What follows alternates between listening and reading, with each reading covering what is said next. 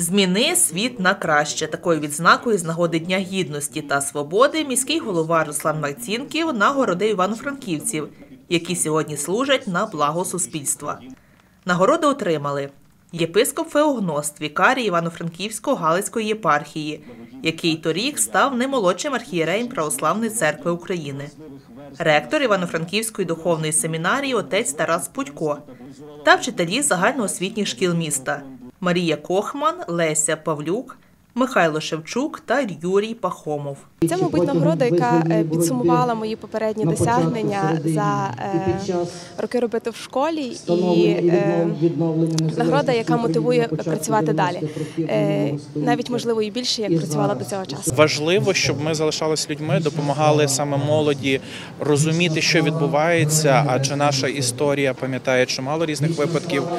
Навіть сьогодні звучавши гімн.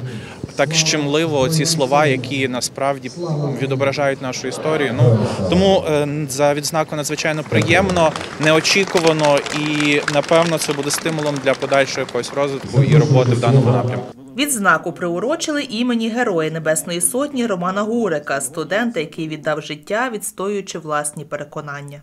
Саме що сьогодні є дуже багато молоді. Мене це дуже тішить, тому що слава Богу, що діти пам'ятають, діти про це чують, діти дітям це розказують. Ну уже якби дорослим дітям, так і саме основне, що кожен з нас повинен знати, що героєм ні одна людина не народжується. Десять років тому важкою ціною українці здобули вагому перемогу.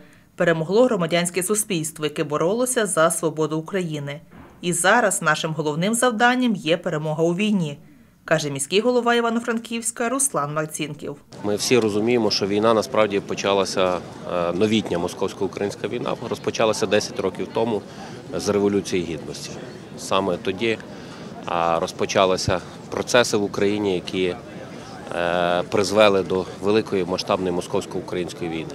І, на жаль, ця війна продовжується далі. Але ми пам'ятаємо, ми розуміємо, що якщо би ще раз прогорнути назад, то однозначно ми би так само вийшли на Майдан і так само би відстоювали гідність, україноцентричність, українську державність.